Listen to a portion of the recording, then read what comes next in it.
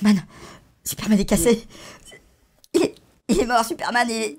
Comment on va faire Comment on va, comment on va faire sans Superman pour, pour aller euh, casser la gueule de- du groupe de rock là? Comment les, super méchant, là Super Oui, euh, euh, les, les Forbans. Les, non. Mais non, euh, Metallica, Metallica. Non, non, on est en fou, enculé. Euh, la compagnie créole. Ah, pas ça non, Non. plus. Euh, Mais si, mais c'est presque, c'est un groupe des années 70. euh, On va y arriver, on va y arriver. Euh, MGMT Non, Euh, non. c'est- ah, Ah, ACDC. ah, non, non, ça suffit maintenant. était- oui, Superman, il est mort.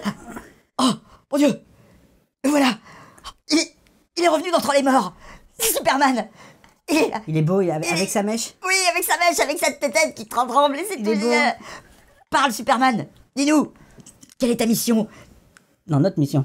Ah oui, notre mission, putain, c'est l'émotion C'est l'émotion, c'est l'émotion Qu'est-ce que tu veux qu'on fasse? Qu'est-ce que tu veux? C'est quoi le nom du, du méchant? Ah oui, c'est quoi, c'est...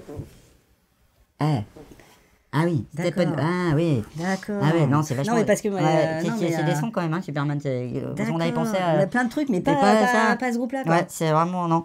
Euh, on va, on va, on- il faut rentrer chez vous, monsieur. Ouais. Ouais, il faut rentrer. Ouais. Non, On s'en occupe, hein, Ouais. on va faire le. Voilà. Allez. Ouais, c'est pas grave. Au revoir. Salut.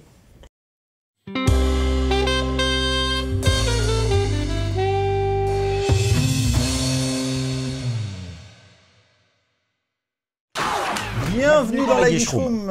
Je suis un petit peu parti. Alors, de quoi parle-t-on, cher docteur Justice League, Justice League. les Avengers à Mar- Marvel, à DC euh, Comics. là. Voilà. Qui sort le 15 novembre. Euh, Ouais. Bon, un film qu'on attend avec un petit peu de flippoun. Hein, Ouais, quand pas, on même, peut pas euh. dire qu'avec de l'impatience, mais plutôt avec de l'appréhension, on va dire. Ouais. Hein, c'est le, encore un, le pauvre Zack Snyder, euh, j'ai l'impression qu'il est enchaîné. euh, je sais pas, les Terrible. mecs ils doivent avoir, euh, ils ont kidnappé sa famille ou pas, je sais pas. Warner, euh, genre tu fais tous les films DC Comics, tu fais pas chier. Sinon, on les, euh, on les égouille. Donc euh, voilà, donc c'est le nouveau, euh, nouveau film dans la franchise euh, DC et qui fait de plus en plus peur. Euh, ouais, avec euh, donc la réunion de, euh, de, bah, de Wonder Woman, euh, Batman, euh, alors Superman, on sait pas, il est pas dans la il est censé être mort à la fin de de. Clo- Clocharman des mers, là. Euh, voilà, de Aquaman, euh, Flash, euh, euh, voilà, tout ça face à une super menace qui s'appelle donc. Stephen Wolf Qu'est-ce que c'est ça Stephen Wolf, alors Stephen Wolf c'est un, un nouveau dieu, Mm. un New God, et en fait l'arc du film est tiré de la BD du légendaire Jack Kirby qui s'appelle New Gods, Mhm. qui date du début des années euh, 70, de 1971, et le, le fameux Stephen Wolf, dont la voix est... La voix est donnée par euh, Kira Heinz, le su- Ciaran Ciaran Heinz. Heinz, qui est le, nom- le super acteur au nom totalement imprononçable. Ouais. C'est un personnage qu'on voit dans les scènes coupées du euh, Batman contre Superman à la fin. C'est une scène coupée. Interesting. Voilà. Mhm. Et donc euh, c'est un super super méchant, une espèce de Thanos version euh, version DC Comics euh, qui va venir euh, être super méchant et combattre. euh, voilà. Donc le pitch, on sait un peu près ce que c'est quoi. Donc c'est des gentils super héros qui vont mettre du mal à voir à se regrouper tout ça et pour aller combattre un super méchant et ça va durer Une 3 super heures. menace ultime. Voilà. 3 heures. En gros, c'est le c'est parti pour être le film de super-héros le plus long Le plus long, ouais. Ouais.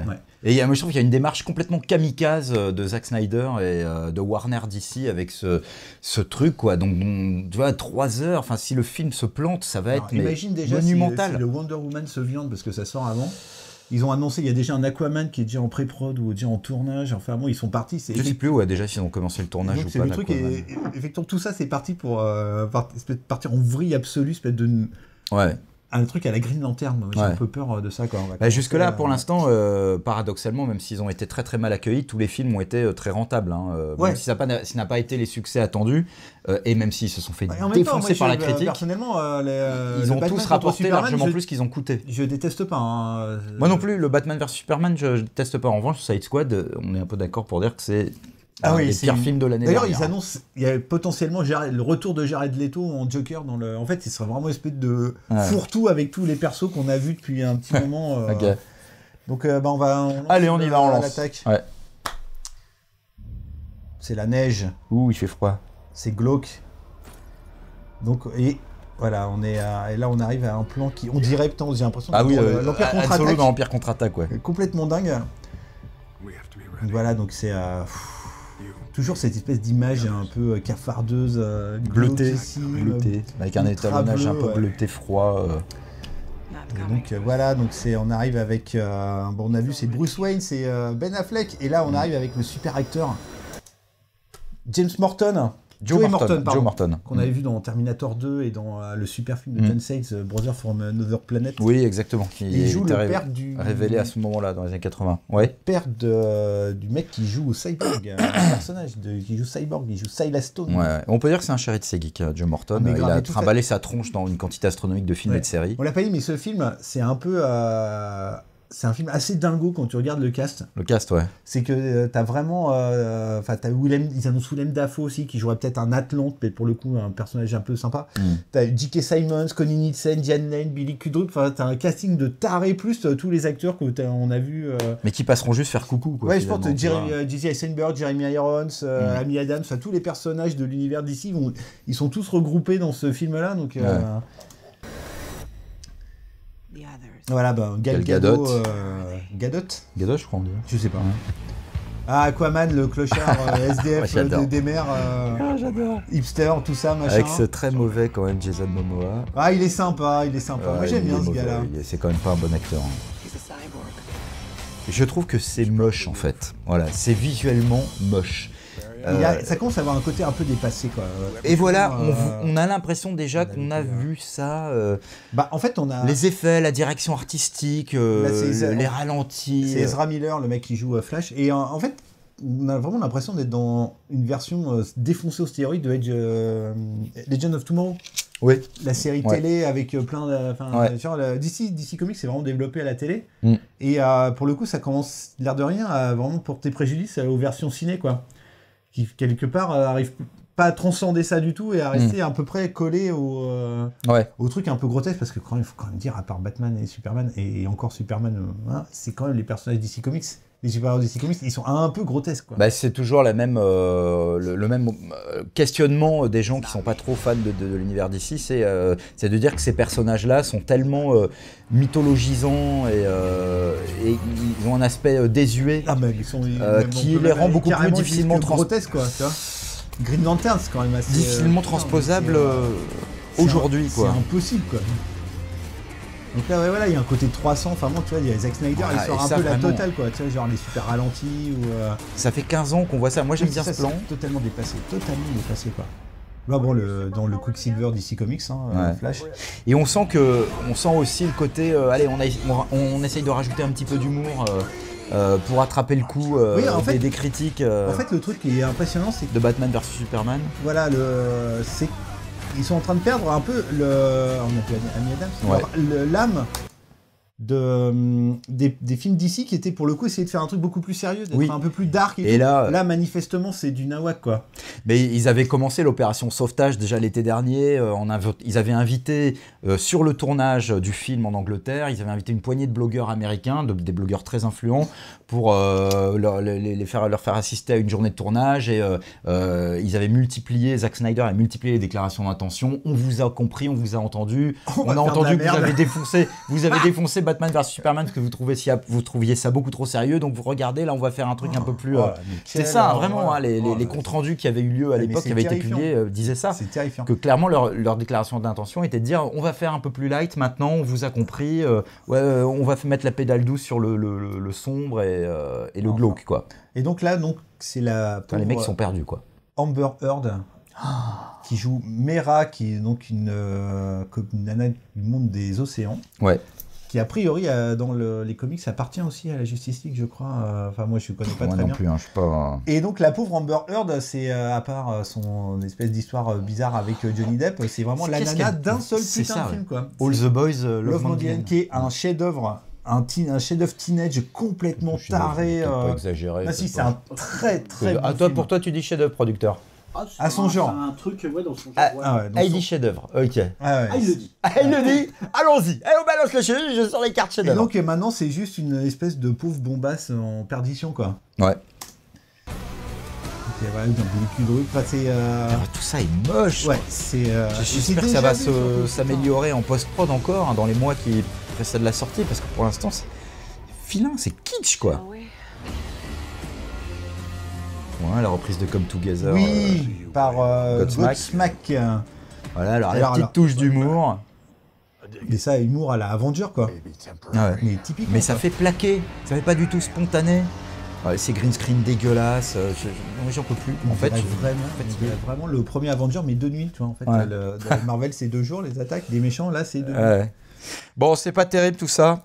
C'est pas terrible tout ça, ça nous fait un peu peur. Euh, on, va, on va procéder à la notation, hein, en espérant euh, pour les gens de, de DC et de chez Warner que, que tout ça euh, ne se vautrera pas euh, Ah, moi, je suis. trop trop, quoi. Parce que derrière, il y a des jobs hein, en jeu. hein, il y a des jobs. Avec quoi on note, on a dit Je suis, moi, je suis vraiment consterné, quoi, parce que franchement, je trouve que le virage que prend le DC, comment ils appellent ça, eux, le DC Extender, Extended Universe. Universe. Le DC ça devient du now. EU. Le ça devient du nawak pur, Le- alors que franchement, le, le Man of. Steel, c'était vachement intéressant. euh, malgré ses défauts, Batman euh, contre Superman, c'était vachement super intéressant, justement en allant. En prenant le contre-pied euh, du côté popcorn movie décérébré des Marvel insipides et tout, en allant sur un truc vraiment beaucoup plus dark. Et, euh, et là, c'est depuis euh, l'épouvantable Suicide Squad, c'est devenu. euh, c'est insipide. c'est du YOLO quoi. C'est on s'en branle, c'est la fin du monde et tout, Mm. on fait n'importe quoi. Non, non, et euh, pff, ouais, ils, les cons, ils iront bien voir le truc quoi. Puis à Wonder Woman, ça fait peur aussi, hein, quand même. Hein, hein. Aïe, aïe, aïe, aïe, aïe. À Wonder Woman dans la Première Guerre mondiale, euh, qui l'aide de l'allemand dans Ouais. les tranchées, euh, avec son euh, sa petite tenue euh, rouge et, rouge et Mm. bleu là, ouh, et Ouais. son petit lasso de vérité, ça fait un Mm. peu peur quoi. Bon, euh, je sais pas. euh, Peut-être qu'il faudrait que des gens chez DC euh, fassent euh, scission et se barrent et, et créent une nouvelle. euh, je sais pas, une, tu vois, ou les Dire Comics, quoi. Les, les DC Com- Dire Comics. Les... Non. Là, en fait, là, c'est- là, vraiment, je touche Alors c'est là, je, pardon, mais DC d'ailleurs, DC d'ailleurs, les Dire parce que j'avais carrément, pardon, mais je n'avais pas compris celle-là. Celle-là, je l'avais. Fini d'ici, maintenant, allez hop, hop, on remplace le truc et les Dire Comics. C'est drôle, non? D'ailleurs. Bon, alors Non, moi, je mets, euh, je mets deux. Tu mets deux super. Ouais, deux Superman sur 5. voilà, je n'attends pas plus que ça. Je- il- Zack Snyder est un type profondément sympathique, je trouve. C'est un réalisateur assez sympa, mine de rien, on- quand on l'entend dans ses interviews. Euh, moi, je l'avais interviewé de la minute de. je- je évidemment. je l'avais interviewé au téléphone l'année dernière pour Batman vs Superman, et il était vraiment. C'était un bon gars, quoi, euh, euh, qui prenait le temps d'expliquer les choses, qui était assez humble, qui avait conscience que c'était compliqué, etc. Mais, mais bon, c'est quand même pas terrible, quoi. Donc deux. Moi, je vais mettre plus, être plus méchant, je vais mettre un. J'y crois Ah oui. absolument pas. C'est Ah. euh, trois heures. Trois heures de ça. Trois heures d'un épisode télé euh, surgonflé avec Ouais. des, des punchlines débiles, euh, des acteurs, euh, les, les- les meilleurs, euh, genre, euh, 80% des acteurs d'Hollywood qui sont qui font rien Ouais. dans des personnages transparents. Enfin, c'est juste super flippant, quoi. Non, et puis et- est-ce que le public a encore envie de cette formule de film de super-héros? Voilà. a- quand Logan est sorti, bon, moi je suis très partagé sur Logan, Moi aussi. mais au moins c'est vrai que c'est une proposition de film de super-héros Ouais. différente. Ça fonctionne pendant une heure? C'est une proposition. Pour moi, c'est comme Deadpool, là, c'est des vraies fausses propositions. C'est pour Ah, moi, c'est plutôt c'est des, c'est des demi-arnaques, quoi. Bah oui, si tu vois le verre moitié plein, des, des demi, euh, pas arnaques, des demi tentatives. Si, parce que moi, euh, je trouve que foncièrement, Oh, c'est pas euh, le, le chemin qu'ils essayent de prendre, qui est so- soi-disant un truc un peu plus adulte, un peu plus sulfureux. Pour moi, Ouais. il n'existe jamais à la base. Pour moi, c'est vraiment des, à la base des arnaques, quoi. Deadpool, c'est. euh, c'est, euh, Pourquoi? Parce qu'on n'aime pas les films, la- on n'aime pas les super-héros, c'est ça, monsieur, euh, monsieur, si, monsieur, monsieur qui aime MGMT, hein, euh, voilà, qui aime les trucs réalistes? Ah, pardon, je sais pas. j'ai- euh, alors, On n'aime plus, on n'aime toi plus, qui connais on n'aime plus rêver, on n'aime plus, euh, hein, ah. Juste, je peux pas, si toi qui ne connais pas manifestement MGMT, mettre MGMT et réaliste en même temps, c'est pas possible, quoi. Parce que c'est un truc, MGMT, c'est de la. de la merde. Musique de drogué, mais c'est- à un niveau, mais juste stratosphérique, quoi. Mm. Donc, euh, le réalisme de MGMT, euh, la merde de MGMT, c'est M grosse merde de taré. Et g- de MGMT. merde. Putain, mais t'es le, le, le, le roi des gags pas drôles. il là, est, il temps tac. qu'on se Alors là, Je promets, non, je prends l'engagement. consterné. Non, le- revenez la le fan semaine de prochaine. MGMT est consterné. Revenez la semaine prochaine, chers amis à Guicheroumien. Je m'engage solennellement à- pour la prochaine à à faire du calembour de qualité. Et j'annonce même, et j'annonce même Oh non, que oh non. la prochaine à Guicheroum sera une spéciale calembour de qualité. On va travailler peur, un petit logo. On va peur, un petit peur. teaser Non, dès maintenant. non, non. Dès maintenant, petit Non. teaser. Allons-y. Voilà, label rouge qualité calembour. Euh, label rouge, oui, oui. Euh, euh, LRQC. LRQC. Label rouge qualité calembour. Petit teaser dès maintenant. À la semaine prochaine.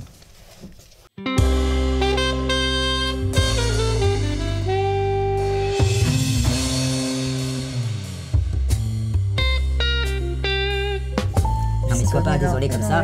Moi je rame comme un malade pour essayer de remonter le, le- le niveau comique. C'est c'est parce que, en gros, c'est que je suis pas drôle, quoi. Non, c'est pas que es pas c'est, non, euh, c'est- c'est- tu, c'est- es, je suis tu es- c'est tu différent, tu es différent. Tu fais un humour différent, une personne différente, tu es bon voilà, tu es né comme ça, voilà. Euh, tu fais avec ce que la nature t'a donné. C'est-à-dire peu, mais tu, par- tu arrives un peu. Et Moi j'ai envie de t'aider avec ça. J'ai envie de Avec avec, des ça. jeux de mots, des jeux de mollets Oui, quoi. oui, oui, oui, et ne sois pas ingrat non plus, hein, parce que moi je t'ai tiré du, du ruisseau. Quoi Je t'ai, je t'ai sorti de la fange dans laquelle tu étais, tu barbotais, tu disais Eh, Pascal, Pascal. Bah j'ai mais moi d'une main fière et musclée et tel Tu- Superman photocopié envers les vermisseaux. mes préparations de-